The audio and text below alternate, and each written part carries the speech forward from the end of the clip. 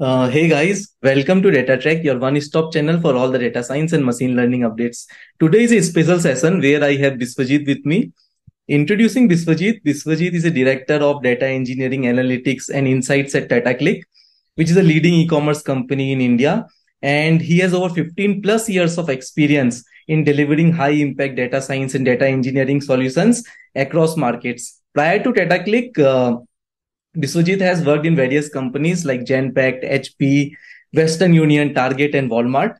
And uh, during my tenure at Walmart, uh, Biswajit was my reporting manager, and he played a pivotal and influential role in shaping my professional development and career trajectory.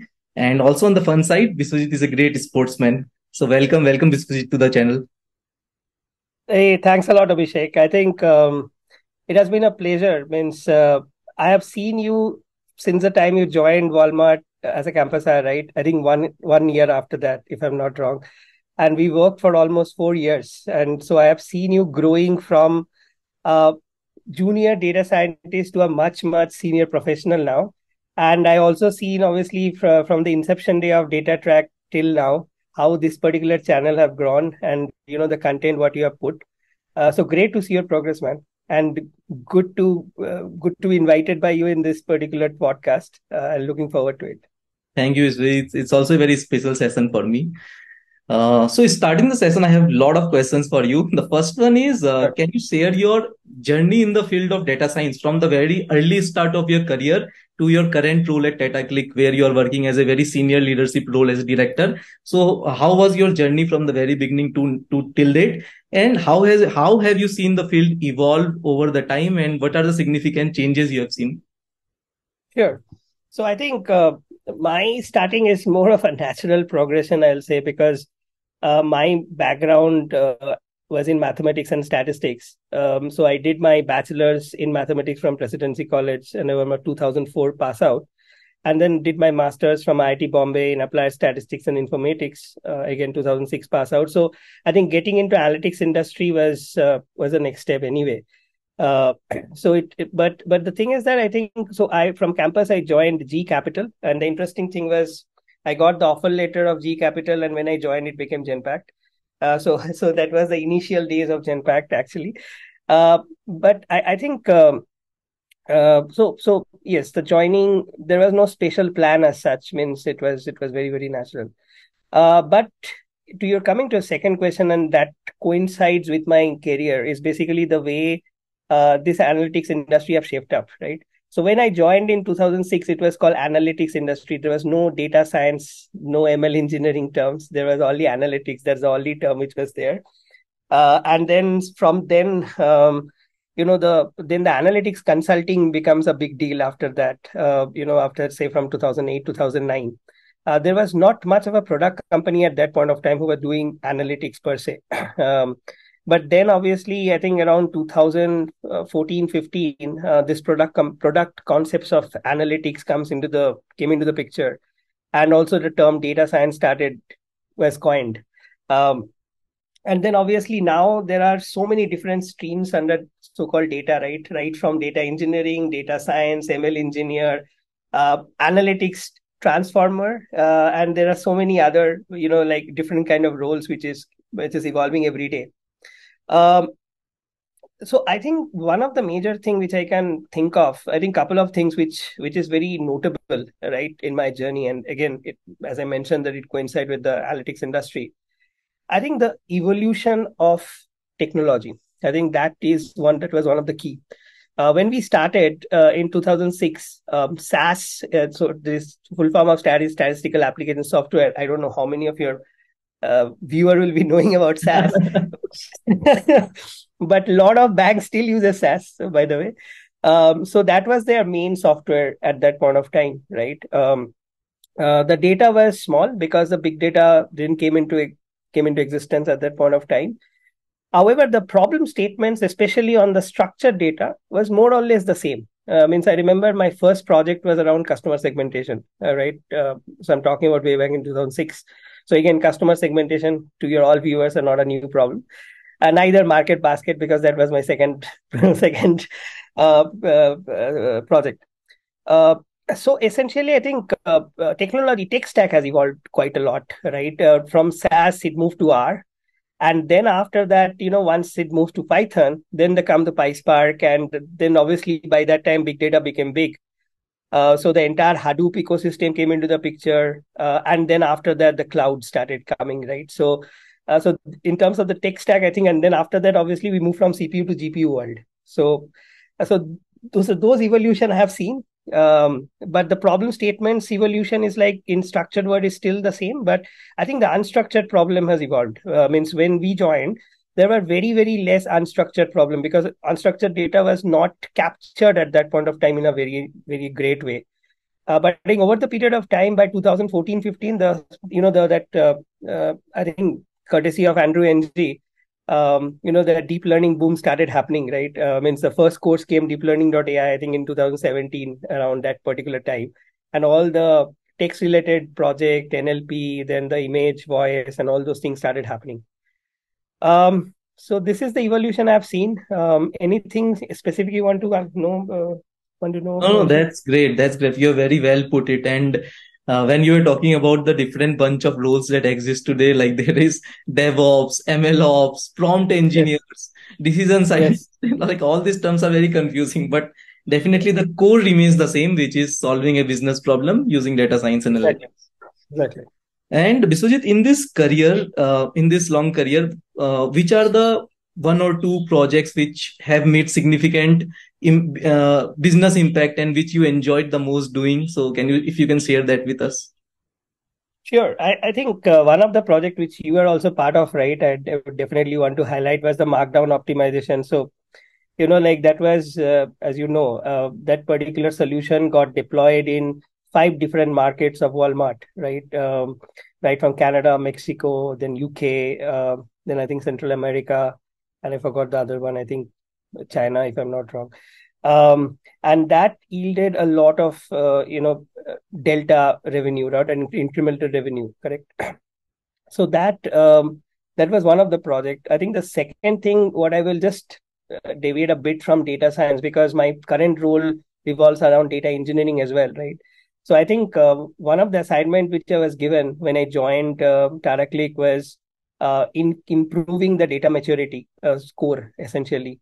So i think um, so in in data so the way data engineering system works right it, it has mostly four verticals uh, uh, that's what we actually operate.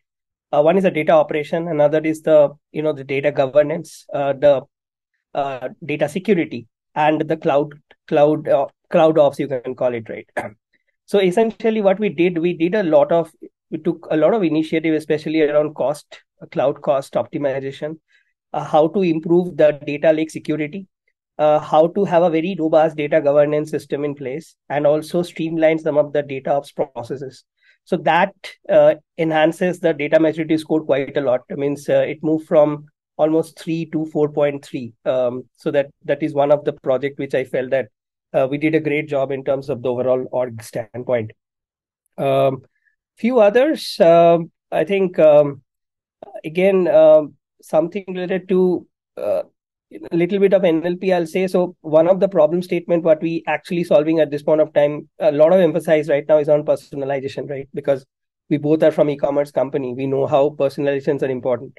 So one of the aspect was that, uh, and I'm sure that it's not a problem with Tata CLiQ, it's across. Uh, that uh, you know the gender, which is a very important aspect, especially when you're in a fashion retailers and etc., are in the database uh, there are a lot of uh, you know the data is not available any right? It's missing data. Now if you don't know your gender how do you how will you recommend right?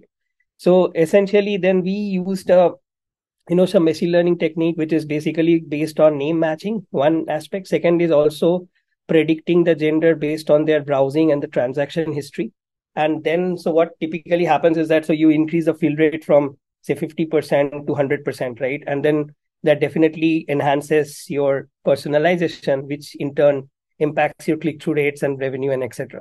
So that's another notable project what we did in past one year. Got it. And uh, like this type of projects, the fun part is that one output of the model go is a feature for another model.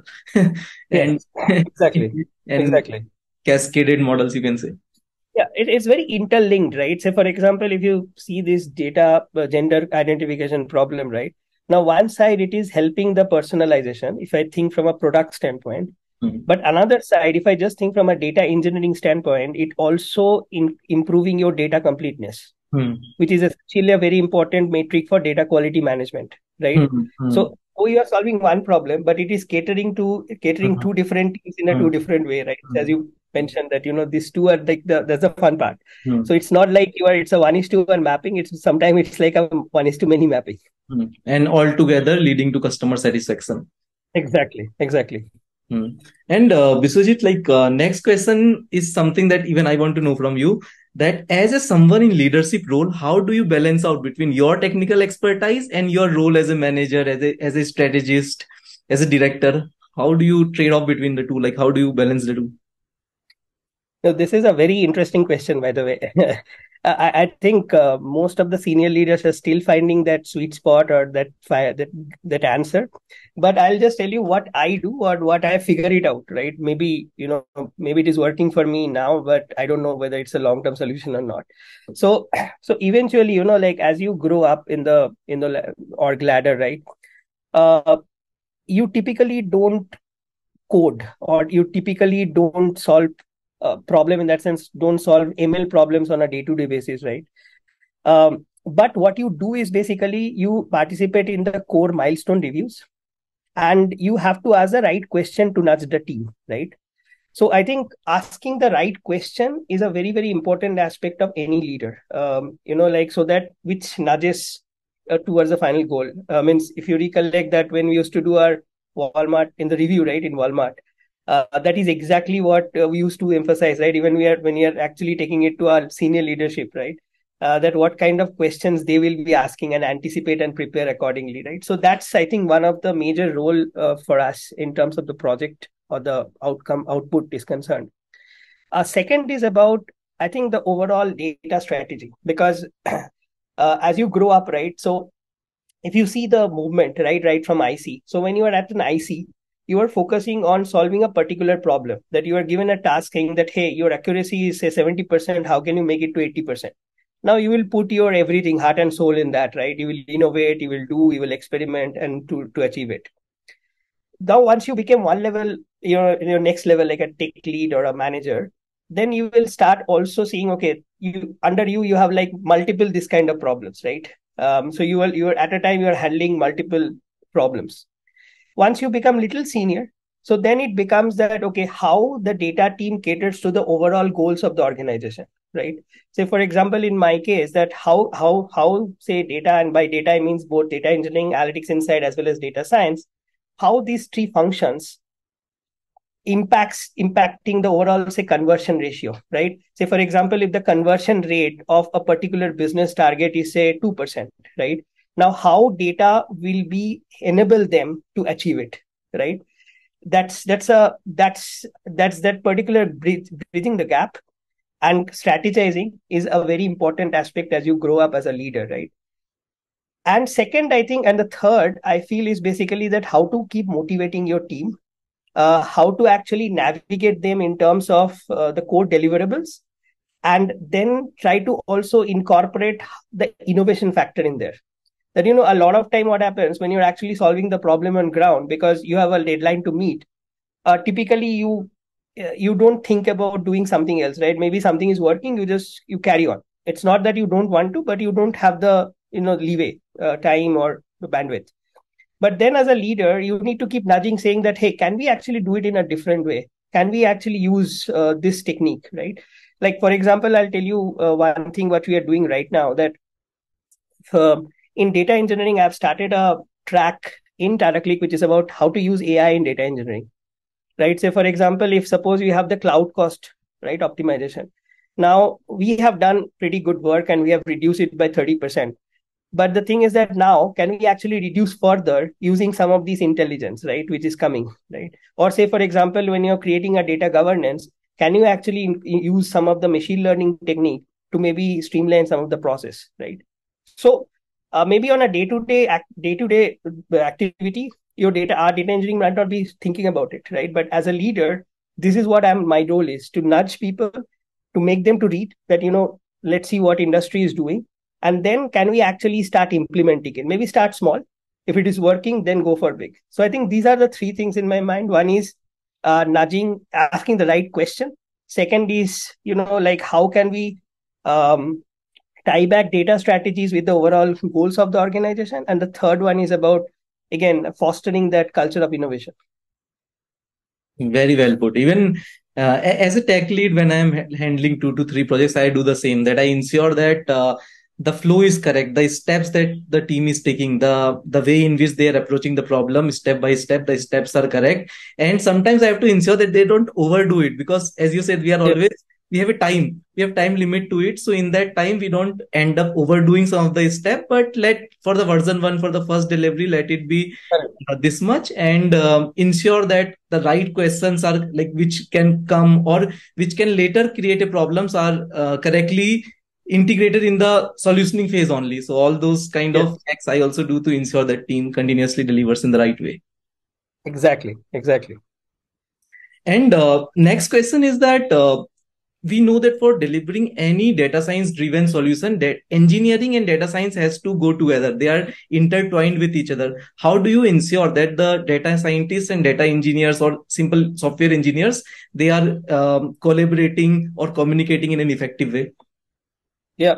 so I'll I'll just take one step back, and uh, you know, the this is actually was a fundamental reason of me moving from ML world to the data engineering world, right? Because, uh, you know, my first 15, 16 years, and as you know, right, it it hasn't all mm-hmm. totally been into data science and ML. Now, one thing what I, what we realize, what I realize is basically that uh, see, at the end of the day, garbage in is garbage out, right? So whatever you do in the space of algorithm, if your data is not correct, eventually nothing is coming out of it, right? So, and that handshake is very, very important. And that handshake can only happen when a data leader will understand both the worlds. Because a lot of time what happens is that if the data engineering team doesn't understand the end goal, uh, they, you know, they only think about the tech because they're mostly the engineering uh, people, right? uh, they're not thinking about okay using this data what the downstream teams will be solving the problem right um, so i think uh, you know that that handshake which so called the sweet spot is right now called feature store that you know like you uh, uh, you build a feature store where data engineering is putting the features right and then exposing it to the downstream teams be it analytics be it data science or be it any other teams and so that the definitions are used are consistent right? No one is actually building the features on their own. If they have they need it, you send the request to the data engineering team, they create, put it in the feature store. So there is a consistency in terms of definition, right?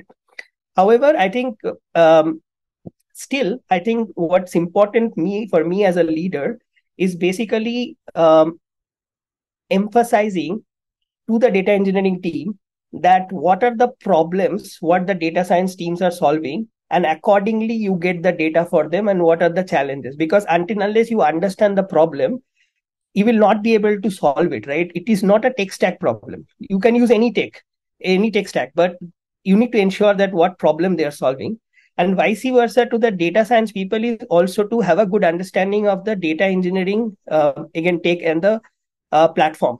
Because at the end of the day you know like when you are deploying the data in the data science solution it's not you cannot just solve it until you understand how the data flows right? So essentially it's a system starting from the source system till you know the consumption. So someone needs to understand it. He may not be doing it but at least that understanding should be there so that that, that so that this is what i try to do uh, that you know one team try to explain the uh, problem another team try to explain the solution uh, system Got it. So basically ensuring both team understands each other and work together to solve the yes. business problem. Yes. Yes, exactly. And uh, like uh, every business problem comes with a strict time limit. How do you ensure that the innovation is continuously there both in the data science and data engineering worlds? Yeah. So I think um, this is what I learned in my first job, uh, which is in Genpact way back, right? And I'll just emphasize a little bit on that, and then I'll go how we how I do it. So eventually, in a consulting world, this is a concept that okay, if your client is asking ABC, you first deliver ABC, and then you suggest, hey, we can also do D, E, and F, right? and if you are actually giving abc then more or less they also say that hey you know it looks good. Can you also try? Right? So this is exactly the concept which i follow. That you know when say most of us working work in a very stringent deadline right? If you know uh, accommodating everything in that timeline is very very difficult right? So i think what i tell my team and also try to ensure is basically that okay in a first version try to give what the client or the business is looking for. Even if it is a simple method go for it right? No problem. But once you once they once the trust is developed right we can always go and say that hey you are happy with this but there are some better way to do it and it might increase the accuracy accuracy maybe by another 5 to 10 percent right? So are you okay with that? What i've seen with my in my experience 8 out of 10 works. If the first version is actually satisfying their need and it's on in, in and it's also in the timely manner. I think the second when once you go and tell to them 8 out of 10 actually they say yes right? So this is where is basically the innovation comes. Because now you can actually buy a lot more time and then try out a lot of things. Because your code deliverable is already done right? This is an overhead what you are getting. If something works out great for both the parties. Even if it doesn't work out then also it's a good learning for the team so that's basically my uh, funda that you know first give what they are needed and then uh, establish the trust and then go for the innovation Mm, that, that's a good funda that all of us can learn from. First, gain the trust and uh, first prioritize the timeline, deadlines, and then you get enough time to innovate and uh, deliver more sophisticated solutions. Exactly, exactly. And uh, a part of that, this is it. Now you have also started teaching in prestigious institutes as a part time. So, uh, how are you liking this phase of your career, and how are you enjoying teaching as in general? Oh, excellent. Um, so, so I always like teaching. So basically, when I was in TCS, um, so there is this program which is part of the TCS only that, uh, which is actually it's a three-way program between Central Government of India, TCS, and ISI, uh, Indian Statistical Institutes. So there is a they, they had a campus in Tezpur uh, in Assam, and they had a one year of diploma program there. Uh, so as a part of that, uh, someone from TCS used to go and take classes, a full semester basically. Uh, so I did it in 2014. Um, so I taken I took a full you know half full semester of a half paper. Means essentially it was a computational statistics paper. 50 marks were mine and 50 marks were one of the means ISI's head, HOD who was actually managing that program. So she was responsible for that. So it was full proper teaching right from taking quizzes mid-sem, end-sem, all the things. So I that that that experience was like brilliant. Means I just enjoyed a lot. Um, so I always wanted that you know that that at some point of my life I'll make it a sort of a second stream kind of a thing. And the second thing I think what triggers is basically coming back to your first question that as a leader, how you balance your act between the technical and the strategies, right?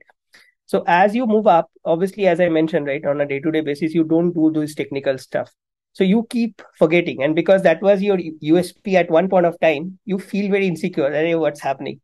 So then we all, I think this is a problem with most of us uh, that we we try to find that how can we actually what can we do to get those things uh, get the ball rolling essentially. I think teaching is one of the best way because anyway it, it's your assignment. So you have a uh, it's not that you it's it's basically not like any courses you are doing right at your leisure See, it's also a timeline based assignment what you have been given that hey, your class is on September end. So now I have one month.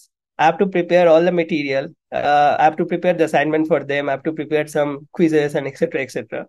So in that way, you are also learning or you're also doing, right? Say, for example, if you have to take a class on, say, generative AI, right? Uh, say a eight hours lecture. So now you have to prepare a eight hours material. You have to prepare the quiz. You have to prepare the, you know, the test and preparing test is basically you are solving a problem only right it's just about you have to solve you're solving a problem and then you're giving right so essentially it helps me to uh, be in touch with the technical aspects and the coding part uh, so yes one is love for teaching second is basically it is helping me to be uh, to be in touch with the technical and the you know the the foundational things uh, so i think it's a win-win Uh, so I'm enjoying quite a lot. Can you share a bit more where all uh, are you teaching currently and which courses are you taking? Sure. So, uh, you know, last year, so I'm right now associated with IIT Madras. Um, so I am part of their, I think, the Viva uh, committee. I think you are also part of it, if I'm not wrong. Um, and then, secondly, I took um, few courses for NITIE. Um, uh, NITIE right now has become IIM Mumbai. Uh, their brand name has changed.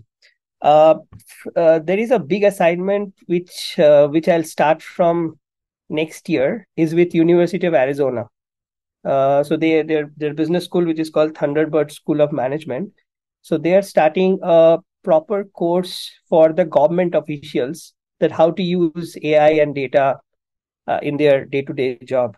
So it's basically a three module course, uh, and each module has you know five sections total 15 sections. So i'll be teaching a couple of them uh, but it will start from next year. Um, so that's a big assignment i have. Um, i think these are the things at this point of time. And and how are you managing your time so uh, this is a, these are all weekend gig for me right? Okay. so but you get uh, you get enough time. So one there is one hack. So the hack is basically now initially you need to prepare a good 15 16 hours material basically right? And then you can use it. You can hmm. reuse there's a high reusability hmm. component.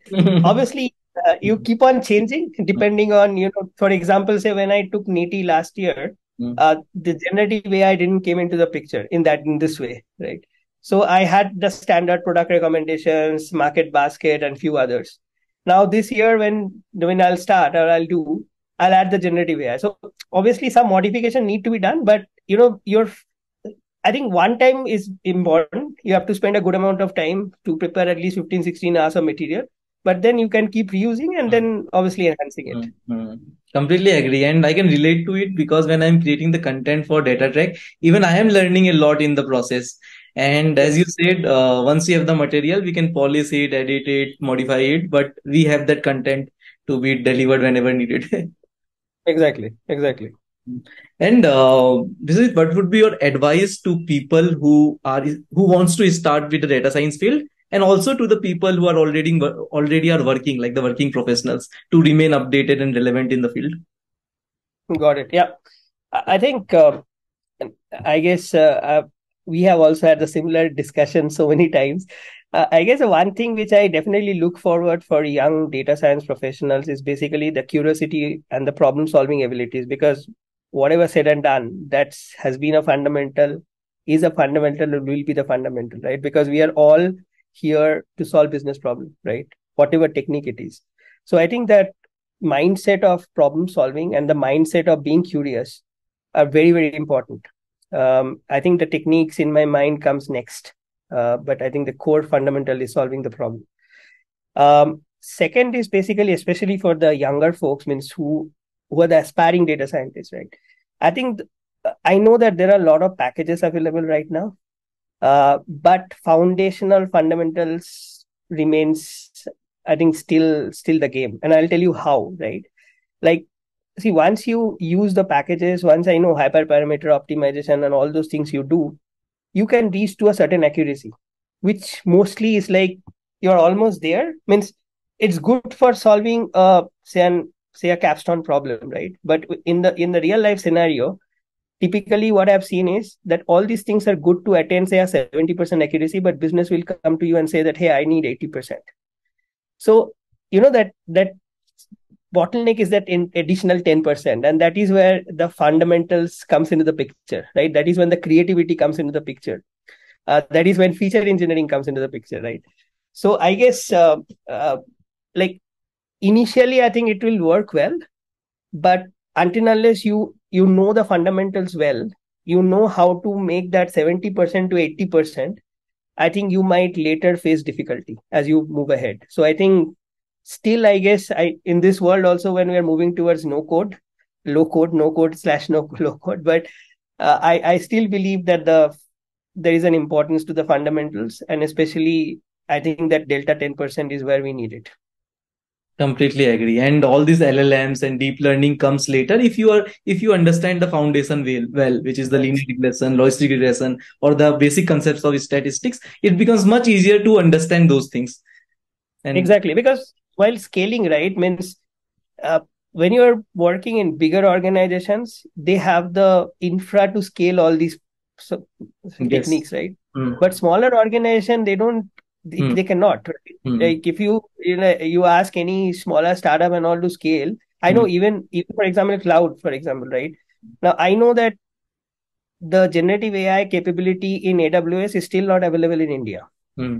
Obviously they are marketing it but it's not available in apac region as of now right? Hmm. now if i have to say scale a gen ai solution how will i scale it? Right. Maybe you know gcp might have but but not every company can afford aws plus gcp plus azure right? Mm. so you so basically in those kind of scenarios um, i think the simple solutions works because you can easily scale them right mm-hmm. and as i mentioned that there is always a room of improvement and you can always uh, you know do it in the later stages mm. but it can tie back to your that principle of first you need to satisfy business goal and then you need to go for a fancy or a more innovation so hmm. I think at the end of the day, the first version always linear regression and other things works pretty well, uh, and then we can keep innovating.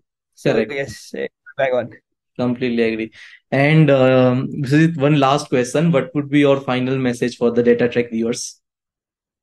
Oh, I, I think um, I have known Abhishek for ages now, uh, mm. and I have worked with him uh, for so many projects uh, across the time um, or across the years rather. Uh, I guess uh, he's one of the best in the business, and I have I've told him so many times about it, and I, I still remember that hackathon challenge what we had because he's superb in hackathon, and I told him one day that you know my wish is basically can we actually compete in a hackathon? So this is I think so I so what I wanted to say is um, uh, Abhishek is a great professional, great teacher in terms of data science. I think um, if you guys are subscribing his channel and part of these his journey, I'm sure that you guys will be benefiting quite a lot uh, because I know him personally. I have seen him growing, and I know I am all I know his knowledge as well. So my advice will be just stay in this particular channel and uh, keep following him and keep seeing his videos. Uh, I am sure that it will be beneficial for all of you.